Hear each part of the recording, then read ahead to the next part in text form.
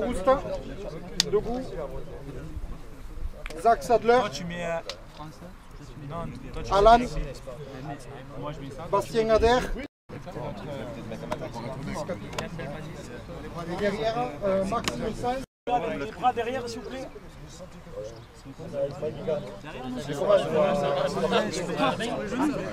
Quand, il a fini, vous ne bougez pas, hein, on va en faire une autre après. Et différente. Allez, les gars. Les gars, regardez devant. Là, on est bon Les enfants devant. Donc vous restez en place, parce que nous on se sortira et on laisse la place aux caméras.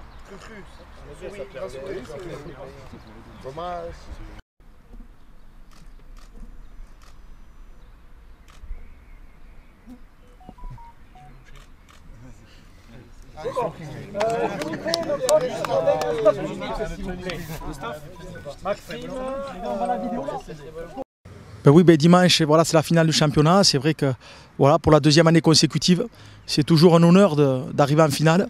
Et voilà, nous allons tout faire pour, euh, pour rendre le, public, la ville, les dirigeants, l'ensemble du club fiers, euh, fiers de- des joueurs. On joue contre Carcassonne, qui est, voilà, qui est, le grand favori de cette rencontre. Mais, mais nous allons tout donner pour, euh, pour ne rien regretter à la fin du match. Voilà, il y a, il y a quelques absents. Il y a quelques absents. euh, Stan Robin, Paul Barbaza, Romain Puzo. Et c'est vrai que bon, ces, trois absences vont, vont nous manquer, mais, mais voilà, c'est c'est la vie de, des sportifs, c'est la vie d'un club, c'est la vie d'une équipe.